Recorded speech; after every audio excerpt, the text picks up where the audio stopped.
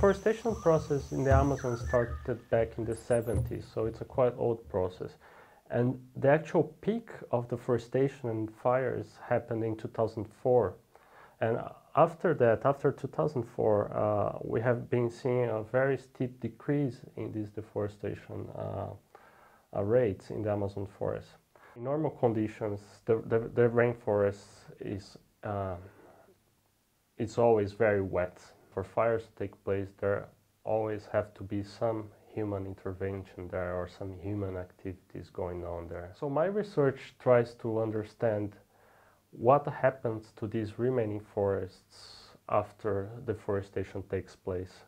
So what we know is that the remaining forests uh, are affected by something called edge effects. So this edge effects is uh, it's something that we use to describe the changes in biodiversity and changes in microclimate that occurs in the border, this new border formed by deforestation. And at the same places, we are collecting uh, microclimate data. So we are uh, installing a network of uh, microclimate sensors that will monitor, uh, for instance, temperature and soil humidity every 15 minutes. And the sensors can be collecting this data for up to a decade, so we can also do some long-term monitoring of these changes. Once you, the forest goes down, you change the energy balance of, of that area. So you have less water being lost through evapotranspiration. You have uh, higher uh, surface temperature because of that as well.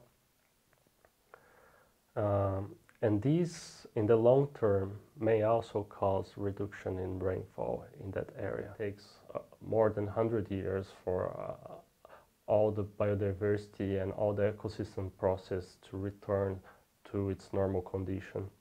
So preventing is the most important thing, and this can be done through different approaches. The big guys there, the big companies, have already realized that deforestation does not look good for the image of the Brazilian products. If consumers start to get more and more uh, conscious about what they're buying and where the, their products are coming from, then I think uh, this kind of mentality will start to spread also to smaller uh, farmers that are still um, doing these old practices of slash and burn